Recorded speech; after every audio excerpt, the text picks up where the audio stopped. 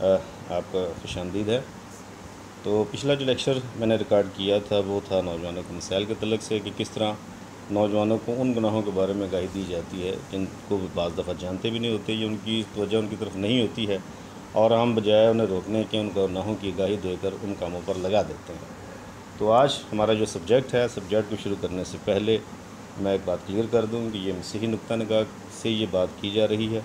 Bible کے تعلق سے اور مسیحی قوم سے بات کی جا رہی ہے؟ باقی کسی مسلک یا مذہب کا اس کے بارے میں کوئی اپنا رائے ہے یا اپنا خیال ہے تو میں پہلے سے معذرت چاہوں گا، اس کا مقصد صرف مسیحی قوم کی رہنمائی کرنا ہے۔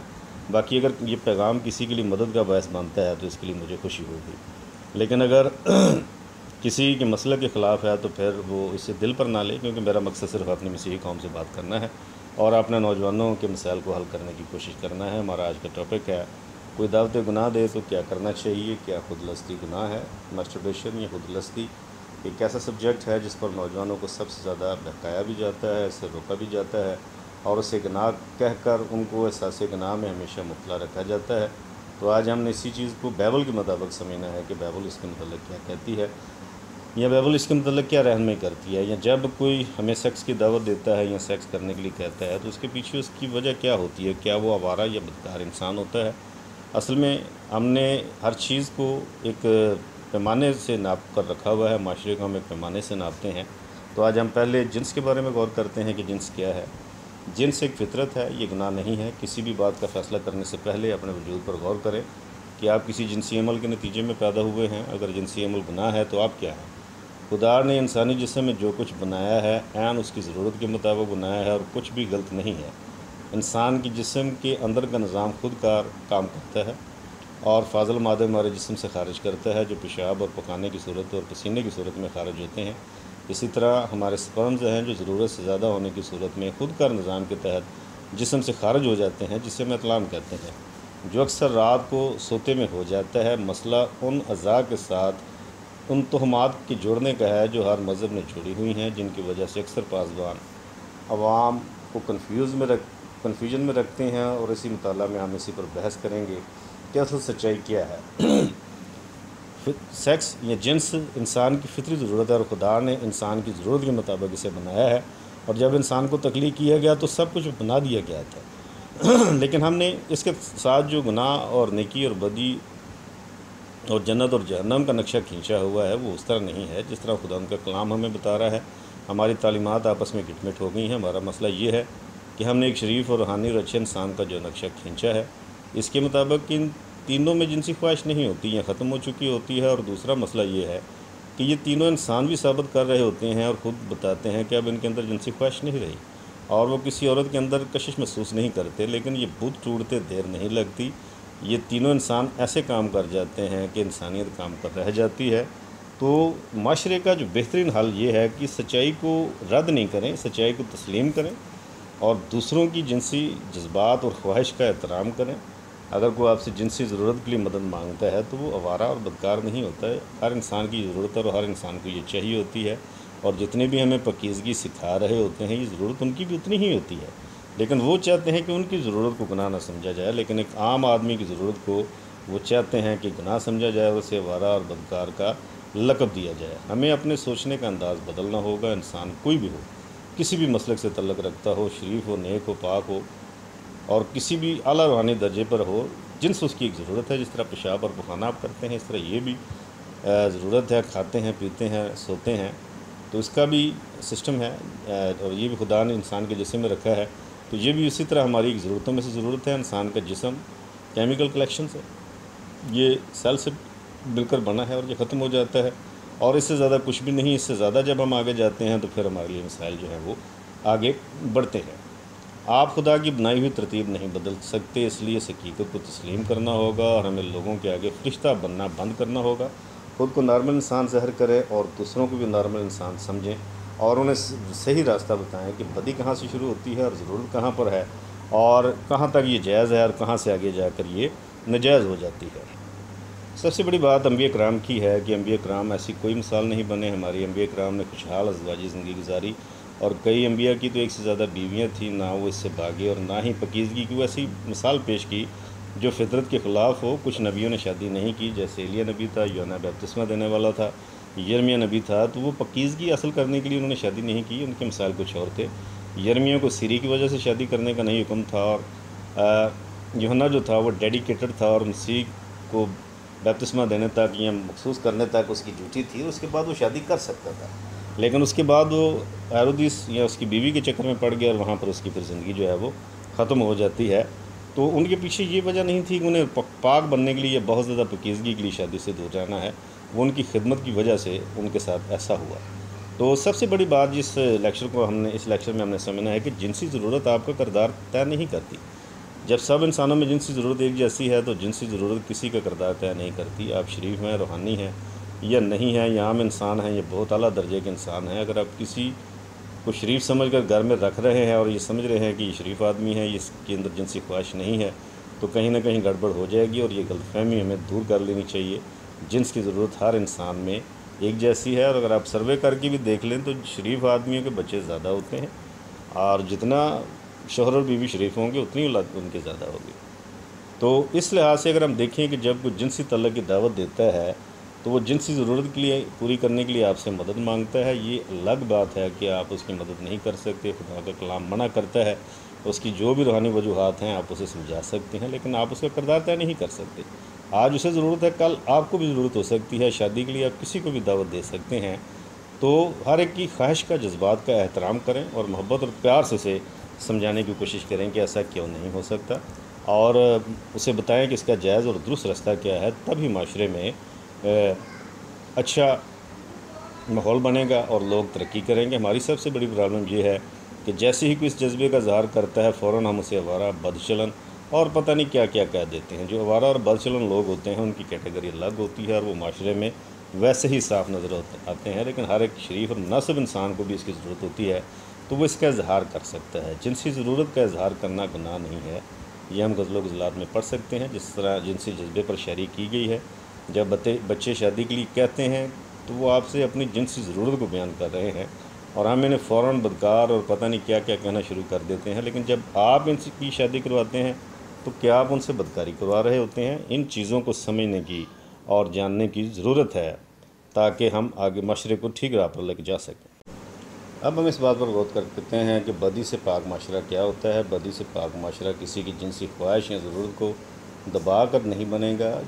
بدی سے پاک معاشرہ وہ ہوتا ہے جہاں ہر ایک کی جنسی ضرورت پوری ہوتی ہے اور اس کے لیے قانونی راستہ دیا جاتا ہے اور وہ تمام رکاوٹیں ہٹا دی جاتی ہیں جو اس کے لیے مشکل کا باعث بنتی ہیں۔ نکاح کی آسانی اور بہت ساری ایسی چیزیں ہیں جس سے کرنے سے آپ بدی سے پاک معاشرہ بنا سکتے ہیں، لیکن جب آپ کسی کی ضرورت اور خواہش کا احترام نہیں کرتے، اس کو دبو۔ دبانے کی کوشش کرتے ہیں یا ختم کرنے کی کوشش کرتے ہیں، تو پھر تباہی آتی ہے۔ اور پھر انسان نجائز راستہ اختیار کرتا ہے۔ جب معاشرے میں روٹی آسانی سے نہ مل رہی ہو، ضرورتیں پوری نہ ہوں، تو پھر لوگ چوری کرتے ہیں۔ اور چوری اصل میں بدی ہوتی ہے، لیکن اگر انسان کی ضرورت پوری ہو رہی ہے، سب کچھ اسے مل رہا ہے، تو پھر چوری نہیں ہوگی۔ تو اس کے لیے سب کو مل بیٹھ کر کام کرنا پڑے گا اور مل بیٹھ کر سوچنا پڑے گا، تاکہ ہم اس کے جو ہے وہ مناسب حل نکال سکیں۔ ہم چاہتے ہیں کہ لوگ اپنی جنسی خواہش یا ضرورت کو دبا دیں اور اس کے بارے میں سوچے بھی نہ، لیکن جو لوگوں کو اس بات پر لگا رہے ہوتے ہیں اور انہیں سمجھا رہے ہوتے ہیں کہ آپ زندہ خدا کا مقدس ہیں اور آپ ایسے کام نہ سوچیں اور ایسے کاموں کی طرف نہیں بھاگیں، اب ان کا انجام کیا ہوتا ہے؟ جنہیں جنہیں ہم خدا کے روح کا مقدس سمجھ رہے ہوتے ہیں، تو وہ کیا کرتے ہیں؟ اس کو آپ اگلی تصویر میں دیکھ سکتے ہیں کہ کس طرح چرچوں مندروں مسجدوں اور بھی مذہبی عبادت گاؤں میں جتنے بھی ہیں کس طرح کے جنسی اسکینڈل بنتے ہیں، بچوں کے ساتھ زیادتی کی جاتی ہے اور بہت کچھ ہوتا ہے۔ جب یہ سارے واقعات سامنے آتے ہیں تو خدا کا احترام بھی ہماری نظر میں کم ہوتا ہے۔ مقدس کتابوں کا بھی احترام ہماری نظر میں کم ہوتا ہے۔ اور مذہبی رہنماؤں کا بھی احترام جو ہے وہ ہماری نظر میں کم ہوتا ہے۔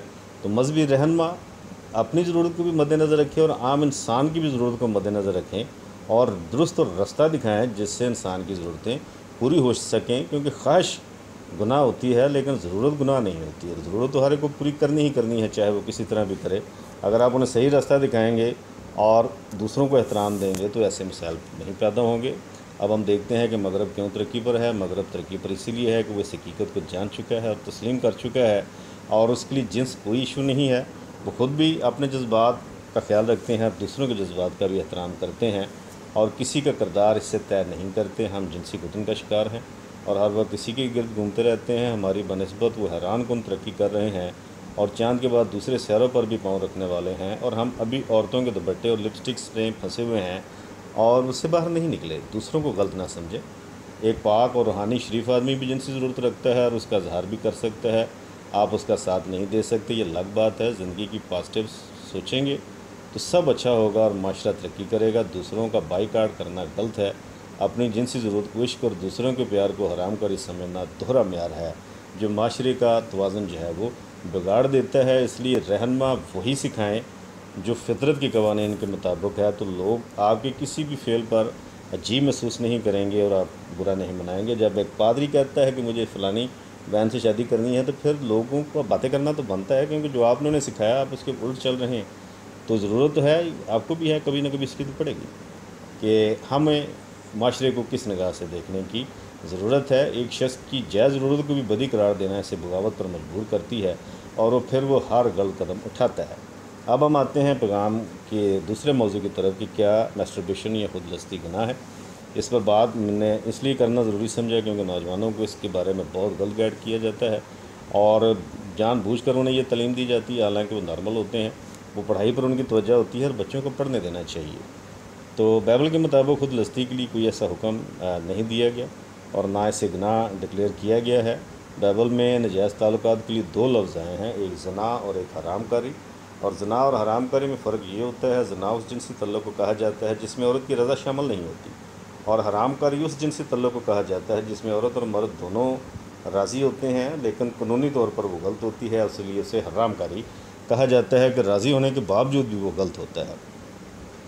خود لستی کے بارے میں جو حوالہ عموماً پیش کیا جاتا ہے، وہ پہلا گرنتھیوں، چھٹا باب تیرہویں سے اٹھارہویں یاد تک دیا جاتا ہے۔ اس کی میں چند آتے ہیں آپ کے سامنے رکھوں گا۔ تیرہویں یاد میں لکھا ہے کہ مدن مگر بدن حرام کاری کے لیے نہیں، بلکہ خداون کے لیے ہے اور خداون بدن کے لیے۔ پندرہویں یاد میں لکھا ہے، کیا تم نہیں جانتے کہ تمہارے بدن مسیح کے اعضاء ہیں؟ پس کیا ہم مسیح کے اعضاء لے کر قصبی کے اعضاء بناؤں؟ ہرگز نہیں۔ سترویں یاد میں لکھا ہے کہ جو خداون کی صحبت میں رہتا ہے، وہ اس کے ساتھ ایک روح ہوتا ہے۔ اور اٹھارہویں یاد میں لکھا ہے کہ حرام کاری سے بھاگو، تمہارا بدن روح القدس کا۔ مقدس ہے تو یہاں بات پلوس رسول کی بت پرستی پر چل رہی تھی اور بات یہاں پھر بھی حرام کاری کی ہے۔ خود لستی کا اس میں کوئی ذکر نہیں ہے۔ خود لستی پہلی بات تو یہ ایک آٹو سسٹم ہے۔ یہ وہ حوالہ جات ہیں جو خود لستی کے بارے میں دیے جاتے ہیں۔ خود لستی کا براہ راست بائبل میں ذکر نہیں۔ کیونکہ نہ تو یہ حرام کاری کی زمرے میں آتی ہے، نہ ہی زنا کاری کی زمرے میں آتی ہے۔ کیونکہ اس میں کوئی دوسرا انسانی جسم ملوث نہیں ہوتا، کوئی دوسرا انسان ملوث نہیں ہوتا، جس کے خلاف آپ گناہ کر رہے ہو تو خود لستی کیا ہے؟ یہ قدرت کا خود کار نظام ہے جو آپ کے جسم سے فاضل سپرم خارج کرتا ہے۔ آپ کچھ بھی نہیں کرتے تو یہ اطلام کی صورت میں خود واقع ہو جاتا ہے، یہ ایسے ہی ہے جیسے پیشاب پکانا خارج ہوتا ہے۔ لیکن علمان نے اس کے ساتھ بھی پکیزگی، جنت اور سزا اور جہنم کو جوڑ دیا ہے۔ آپ اپنا پیشاب اور پخانا روک کر کس جنت میں چلے جائیں گے؟ اس کو دبا کر رکھنے سے خدا کو کیا فرق پڑتا ہے؟ جتنا پانی خارج ہوتا ہے، اس سے کہیں زیادہ تو جسم میں موجود ہوتا ہے۔ تو پھر یہ گناہ کیسے ہوا؟ زندگی میں ہر مرد عورت اسے کبھی نہ کبھی کرتا ہے، کہتے ہیں کہ اسی فیصد اسے کرتے ہیں اور باقی بیس فیصد اس کے بارے میں جھوٹ بولتے ہیں۔ میں یہ اس لیے بتا رہا ہوں کہ خادم زراعت نوجوانوں کو اس سے روکتے رہتے ہیں اور نوجوانوں کا احساس گناہ بڑھاتے رہتے ہیں، ہر روز معافی مانگتے رہتے ہیں۔ ایسے کام کے لیے جو گناہ نہیں، یہ فائدہ مند ہے یا نقصان دہ ہے، یہ میرا ایشو نہیں تھا۔ میرا ایشو آپ کو روحانی طور پر گائیڈ کرنا اور شرعی طور پر اس کے بارے میں گائیڈ کرنا، آپ اس کے لیے گوگل پر سرچ کریں، یا کسی اچھے ڈاکٹر سے مشورہ کریں، وہ آپ کو بتائے گا کہ یہ نقصان دہ ہے یا فائدہ مند ہے، کرنی چاہیے یا نہیں کرنی چاہیے۔ بہرحال یہ گناہ نہیں ہے اور یہ گناہ کے زمرے میں نہیں آتی۔ ہے اگر آپ کرتے ہیں تو اس ذہن کو ریلیکس رکھیں، یہ گناہ نہیں ہے۔ لیکن اگر آپ روحانی ہیں یا کچھ بھی ہیں، اگر آپ سے یہ کبھی کبھی ہو جاتا ہے تو کسی کی عزت خراب کرنے سے، بچوں سے بدفیلی سے یہ ہزار درجے بہتر ہے۔ اس میں نپاکی صرف اتنی ہوتی ہے کہ آپ نہائیں دھوئیں اور ریلیکس ہوں۔ اور اپنے کام کریں۔ یہ جسم آپ کا ہے اور اسے کیسے سنبھالنا ہے، اس کا فیصلہ آپ نے کرنا ہے۔ تو نیم حکیم اور نیم پاسٹر سے بچے، نیم حکیم اچھے بڑے مرد کا مردانہ کمزوری کا علاج کر رہے ہوتے ہیں اور نیم پاسٹر جو ہیں وہ اچھے بڑے شریف شخص کو دوبارہ شریف بنا رہے ہوتے ہیں اور اس کے گناہوں کو بخشوا رہے ہوتے ہیں۔